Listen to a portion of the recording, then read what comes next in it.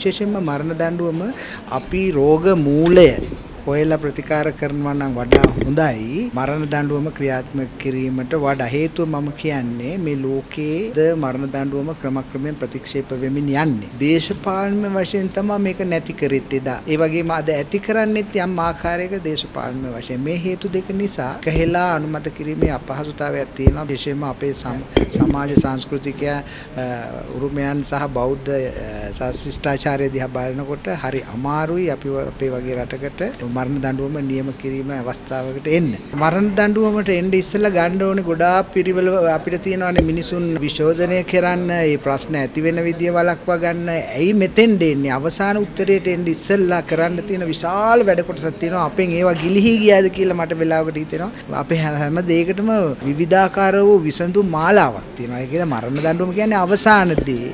එතෙන්ට යන්න ඉස්සෙල්ලා අපිට විශාල ගමනක් එන්න පුළුවන්. ඒ තුල මරණ දඬුවම දක්වා යන ගමන නවත්ත ගන්න පුළුවන්. ඒ සඳහා අපි උත්සුක විය යුතුයි. මේ විශේෂම අපේ වගේ රටවල් වල කුමන්ත්‍රණ අධික වශයෙන් ක්‍රියාත්මක වන රටවල් වල මිනිස්සුන්ගෙන් පලි ගැනීමේ චේතනාවෙන් මේ ක්‍රියාත්මක කරන්න පුළුවන්. මොකද අපි ඒ වරද්ද ගත්තට පස්සේ ආය හරවන්න බෑ. ඉතින් ඒ වගේ ප්‍රශ්න තියෙනවා. ඒ කෙසේ වෙතත් මේ මද්ද්‍රව්‍ය උදර ඒ වගේම අනිකුත් ඔය පාතාල ලෝකේ මේවා මූලයට පිළියම් කෙරුවොත් අපිට නැවත මන්ද දනුවම ගැන හිතන්න ඕනේ. රටේ නීතිය හරියට ක්‍රියාත්මක කිරීම, විනයක් ඇති කිරීම, ජනතාව අතර නීතිය පිළිපැදීම සහ විනය පිළිබඳව අවබෝධයක් ලබා දීම තුලින් විශේෂයෙන්ම අද රටේ වෙලා තියෙන හරි විනයක් නෑ. පාරේ රියදුරෙක් ගත්තත් කිසිම විනයක් ක්‍රියාත්මක වෙන්නේ නෑ.